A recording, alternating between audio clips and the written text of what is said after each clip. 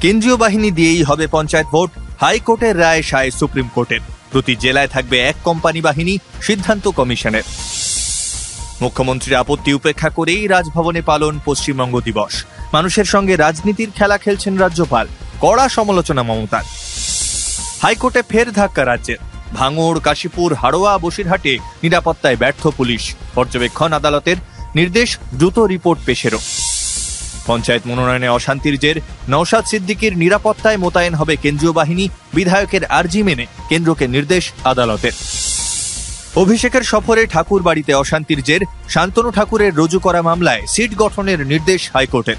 আঠেরোই জুলাইয়ের মধ্যে তলব রিপোর্টের অবশেষে প্রতীক্ষার অবসান, ঘোষণা করা হলো অযোধ্যার রাম মন্দির উদ্বোধনের দিনক্ষণ। অনুষ্ঠানে উপস্থিত থাকবেন খোদ প্রধানমন্ত্রী নরেন্দ্র মোদী।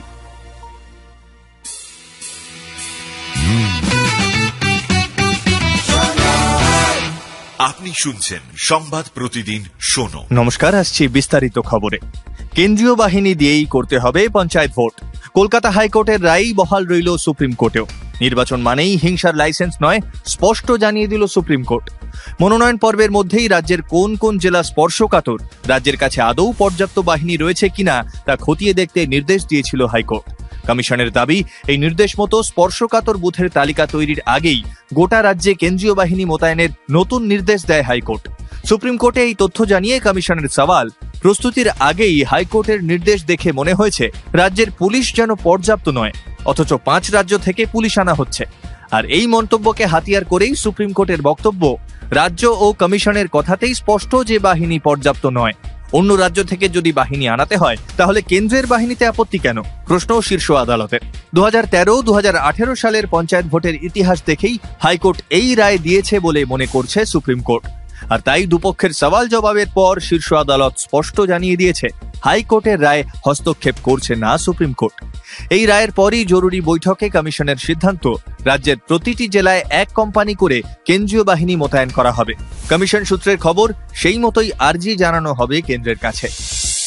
মুখ্যমন্ত্রীর আপত্তি সত্ত্বেও মহা সমারোহে পশ্চিমবঙ্গ দিবস পালন করা হলো রাজভবনে।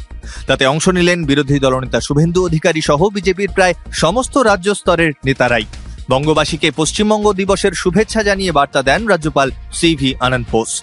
রাষ্ট্রপতি দ্রৌপদী মুর্মুর পাঠানো শুভেচ্ছা বার্তাও পড়ে শোনান তিনি। এই দিবস পালন নিয়ে গোড়া থেকেই আপত্তি জানিয়েছিলেন মুখ্যমন্ত্রী মমতা বন্দ্যোপাধ্যায়। সোমবার মুখ্যমন্ত্রী চিঠি পাঠিয়ে রাজ্যপালকে দিনটি পালন না করার অনুরোধ জানিয়েছিলেন। যে দিনের সঙ্গে দেশভাগের যন্ত্রণা জড়িয়ে ধর্মের ভিত্তিতে যে বঙ্গভঙ্গ হয়েছিল, সেই দিনটি গৌরব বা আনন্দের নয়। বাঙালিদের কাছে এই দিন আসলে দুঃখের দিন, এমনটাই মত ছিল শাসক শিবিরের। যদিও মুখ্যমন্ত্রীর অনুরোধ গ্রাহ্য করেনি রাজভবন।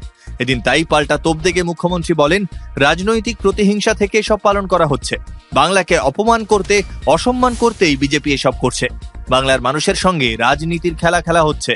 রাজ্যের আপত্তি উড়িয়ে পশ্চিমবঙ্গ দিবস পালনের পাশাপাশি রাজ্য সরকারের উদ্দেশ্যে কড়া বার্তা দিয়েছেন রাজ্যপাল। তার সাফ কথা, বাংলায় অশান্তির কোনো জায়গা নেই। হিংসা এবং দুর্নীতির ক্ষেত্রে জিরো টলারেন্স নীতি নিয়েই চলতে হবে বলে জানিয়েছেন রাজ্যপাল। পঞ্চায়েত ভোটকে মাথায় রেখেই রাজ্যের উদ্দেশ্যে এমন বার্তা রাজ্যপালের। সুপ্রিম কোর্টের পর হাইকোর্টেও বড় ধাক্কা রাজ্যের মনোনয়ন পর্বে ভাঙড়, কাশীপুর, হাড়োয়া, বসিরহাটে নিরাপত্তার ব্যবস্থা করতে ব্যর্থ পুলিশ, সাফ মন্তব্য বিচারপতি রাজা শেখর মান্থার। তার প্রশ্ন, মনোনয়নের সময় রাজ্যের বিভিন্ন প্রান্তে বোমাবাজি, গুলি চালানোর অভিযোগ উঠেছে। তাহলে পুলিশ কি করছিল? এরপরই পুলিশকে রিপোর্ট পেশের নির্দেশ দিয়েছেন বিচারপতি। হাইকোর্টের পনেরো ও ষোলোই জুনের নির্দেশ পালনে পুলিশ কি করেছে? ক্যানিং, মিনাখা, ভাঙড় নেজাট জীবনতলা এলাকায় মনোনয়নের জন্য কোথায় কত সংখ্যক পুলিশ দেওয়া হয়েছিল? গোলমালের আগে ও পরে কতজন গ্রেপ্তার হয়েছে? আদালতের নির্দেশের পরেও কেন প্রার্থীরা মনোনয়ন দিতে পারল না? এই সবকটি প্রশ্নের উত্তরই জানাতে হবে পুলিশকে। সব থানা ও বিডিও অফিসের চোদ্দ থেকে ষোলোই জুনের সিসিটিভি ফুটেজ জমা দিতে হবে আদালতে। দশ দিনের মধ্যে পুলিশকে হলফনামা দিয়ে প্রশ্নমালার জবাব দিতে নির্দেশ দিয়েছেন বিচারপতি মান্থা। পরের তিন দিনের মধ্যে পাল্টা জবাব দিতে পারবেন মামলাকারীরা। দু সপ্তাহ পরে এই মামলার পরবর্তী শুনানি। নওশাদ সিদ্দিকির আর্জিতে সায় দিল কলকাতা হাইকোর্ট। ভাঙড়ের বিধায়কের নিরাপত্তা নিশ্চিত করতে হবে কেন্দ্রীয় বাহিনীকেই। বিধায়কের নিরাপত্তায় কতজন জওয়ান দরকার তা খতিয়ে দেখে দ্রুত নিরাপত্তার ব্যবস্থা করবে কেন্দ্র। মঙ্গলবার এমনই নির্দেশ দিলেন কলকাতা হাইকোর্টের বিচারপতি রাজা শেখর মান্থা। মনোনয়ন পর্বের অশান্তির পরেই নওশাদ আশঙ্কা প্রকাশ করেছিলেন, খুন হয়ে যেতে পারেন তিনি।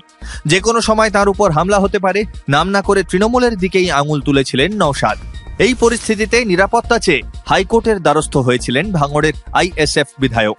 সেই মামলার শুনানিতেই বিচারপতি মান্থার পর্যবেক্ষণ, রাজ্যের বিশাল সংখ্যক বিধায়ক নিরাপত্তা পেয়ে থাকেন। আর বর্তমান নির্বাচনের পরিবেশে ভাঙড়ের বিধায়কের কেন্দ্রীয় নিরাপত্তা পাওয়ার প্রয়োজন আছে।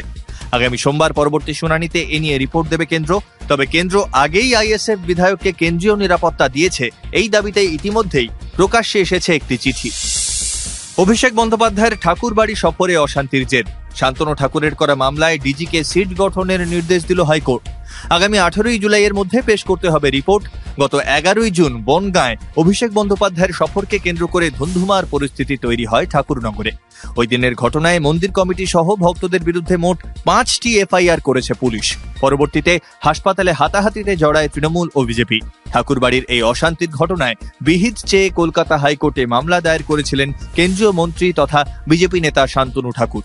এবার মামলাকারীর অভিযোগ এফআইআর হিসেবে গ্রহণ করার নির্দেশ দিল হাইকোর্ট। আদালতের তরফে বলা হয়েছে এডিজে পদমর্যাদার কোনো অফিসারকে এই তদন্তের দায়িত্ব দিতে হবে। যেসব ভক্তদের গ্রেপ্তার করা হয়েছে, তাদের জামিনে মুক্তি দিতে হবে। তদন্তকারী অফিসারের সঙ্গে সপ্তাহে দুদিন, দু ঘণ্টার জন্য দেখা করবেন তারা। মন্দির ও চাঁদপাড়া হাসপাতালের সিসিটিভি ফুটেজ সংগ্রহের নির্দেশও দিয়েছে আদালত। অবশেষে ঘোষণা করা হলো, অযোধ্যার রাম মন্দির উদ্বোধনের দিনক্ষণ। আগেই জানা গিয়েছিল, দু হাজার চব্বিশের লোকসভা ভোটের আগে বছরের শুরুতেই খুলে যাবে এই মন্দির। তিনতলা মন্দিরের প্রথম তলার কাজ সম্পূর্ণ হবে চলতি বছরের অক্টোবর মাসেই। আর রথযাত্রার দিনেই জানা গেল, নির্ধারিত হয়ে গিয়েছে মন্দির উদ্বোধনের দিনক্ষণও। আগামী বছর চোদ্দই জানুয়ারি মকর সংক্রান্তির দিনই উদ্বোধন হচ্ছে বিশ্বের বৃহত্তম রাম মন্দির। অনুষ্ঠানে আমন্ত্রিত খোদ প্রধানমন্ত্রী নরেন্দ্র মোদী। সুপ্রিম কোর্টের রায়েই অযোধ্যার রাম মন্দির তৈরি হচ্ছে। দু হাজার উনিশ সালের নভেম্বরে এক ঐতিহাসিক রায়ে শীর্ষ আদালত জানিয়ে দেয় অযোধ্যার ওই বিতর্কিত নির্মাণ ভেঙে সেখানে রাম মন্দিরই করতে হবে। তৎকালীন প্রধান বিচারপতি রঞ্জন গগৈ রায়দানের সময় জানান, অযোধ্যার ওই বিতর্কিত স্থানের বদলে মুসলিম পক্ষকে অযোধ্যাতেই একটি বিকল্প জায়গা দেওয়া হবে মসজিদ তৈরির জন্য। সেই অনুযায়ী সাড়ম্বরে মন্দির নির্মাণের কাজ শুরু করেছে গেরুয়া শিবির।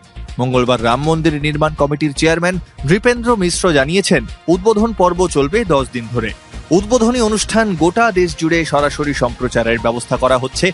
আপাতত বহু প্রতীক্ষিত এই মন্দির উদ্বোধনের দিকেই তাকিয়ে বিজেপি। শুনতে থাকুন সংবাদ প্রতিদিন, শোনো।